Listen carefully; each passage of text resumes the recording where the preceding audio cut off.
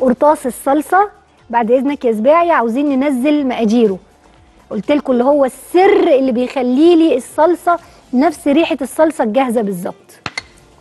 وأقلب كده. عملناه قبل كده مع بعض قرطاس الصلصة أهو موجود قدامكم أهو. ألف شكر يا سباعي تعمليه وتحطيه في برطمان زي ما عملناه كده وتكتبي عليه قرطاس الصلصة تستعمليه في أي صلصة على النار. طبيخ ماشي آه، محاشي ماشي مكرونة ماشي كشري ماشي.